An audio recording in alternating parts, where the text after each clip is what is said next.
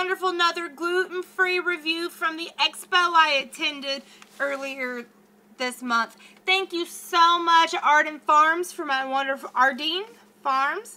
A-R-D-E-N-N-E-F-A-R-M. Excuse me, it's no, there's no M-S at the end. I did that last year, too. For my wonderful review package. That I tried their whole line that they had when I was there. They had chocolate cake. They had uh, chocolate muffins. They had all sorts of yummy little things to try.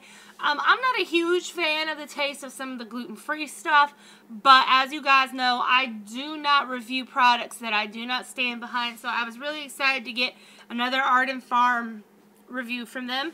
Last year, I believe I did the brownies. This year, it was the muffin, the blueberry muffins.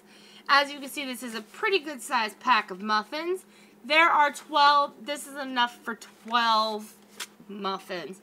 You just need a third of a cup of oil, two large eggs, and two-thirds of a cup of milk. What sets this apart from other gluten-free stuff is this is an all-natural, healthier by nature, gluten-free, all-natural baking, wild Maine blueberries can. There's a can of blueberries in here, actually. And then you preheat the oven to 400 degrees. Drain and rinse the blueberries and set them aside. Add the mix, the oil, eggs, and milk in a large bowl using a spoon or spatula. Combine until incorporated. Gently fold in blueberries. Divide batter among muffin cups. Bake 15 to 18 minutes for medium muffins or 20 to 22 minutes for large muffins. Cool muffins in pans makes 12 medium or 6 large muffins. These are so good.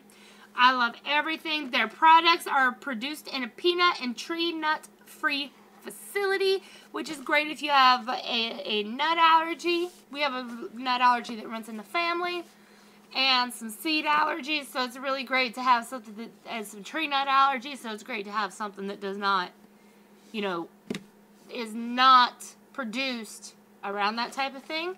If you would like to check out Ardenne Farm and perhaps maybe find a retailer near to you or order some online.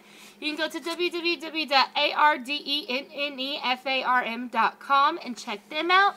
If you want to see more gluten-free goodies that I got from the expo, go ahead and, and click a, give me a thumbs up and let me know what you want, what your favorite Ardenne Farm product is.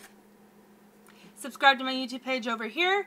Um, sound off down below. Visit me mysteriousramblings.com and y'all make sure to check out Ardenne Farm. These are the blueberry muffin.